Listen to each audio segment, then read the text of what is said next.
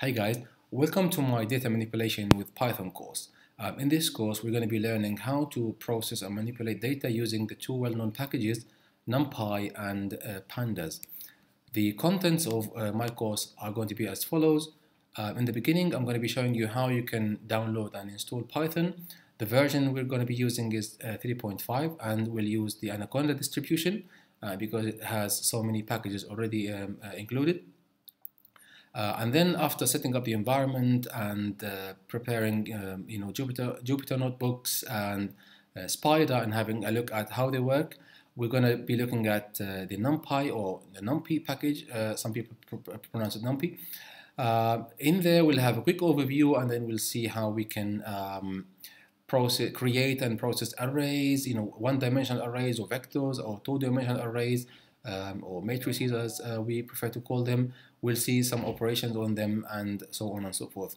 After that, we'll move on to the pandas package where the real powerful stuff happens. Uh, in there, we'll have a quick overview of the pandas package. We'll have a look at uh, the series data structure, which is a one-dimensional uh, data structure, and then we'll have a look at data frames, which are two-dimensional data structures.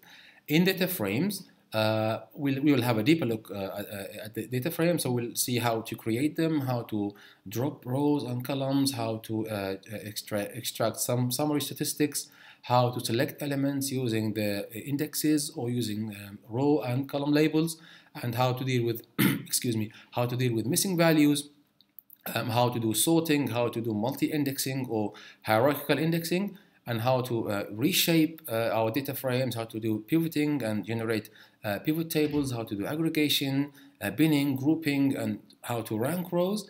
And then uh, we will have a look at how we can read or load data from CSV files and from JSON files and from um, uh, Excel spreadsheets, and then how to save them as well. Uh, and then towards the end, we'll have a look at how to concatenate and merge data frames. And then uh, by the end of this course, we will look at uh, how to generate simple graphics using the pandas uh, uh, package. Um, so my source code and the, the, Jupyter notebooks will be available. Um, I will provide a link below the videos.